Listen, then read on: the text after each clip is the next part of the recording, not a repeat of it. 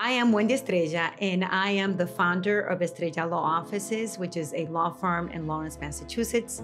I am also the co founder and co owner of Estrella Enterprises, which is a real estate portfolio that both my husband and I own and manage. I am originally from the Dominican Republic, and I moved to the United States when I was a teenager. My mother migrated to the United States for a better life. And if you have the desire to get a better life, you're gonna go for it. Wendy dances on obstacles. She does not think of anything as impossible. Jose and I got married at a really young age. We got married in 1992, but our first property in 1993, the same year that we had our first son, Alex. And I remember telling my husband, I decided I want to go to law school. He almost had a heart attack. You know, my office called and said, hey, there's this woman who wants to speak to you about law school. It was rare to get a phone call from someone in Lawrence, Latino, who wanted to become an attorney. Starting my practice was easy. The community didn't have many lawyers representing them. So the minute uh, a female abogada in the city of Lawrence opens up an office, it was a no-brainer. I met Wendy when she already had begun investing in real estate. But she also had her law practice.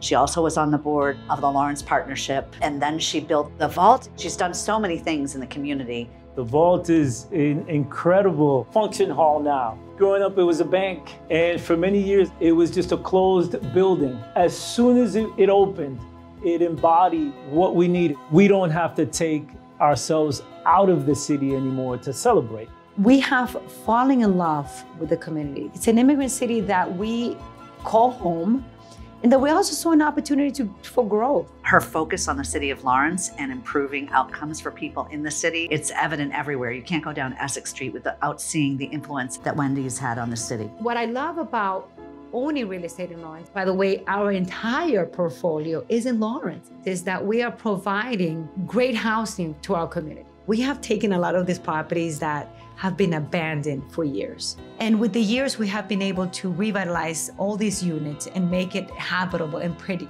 And I love the fact that we're from here, so we care about how properties look. I think the lesson to learn from Wendy's story and every immigrant that comes into this incredible country is that we come in with new ideas.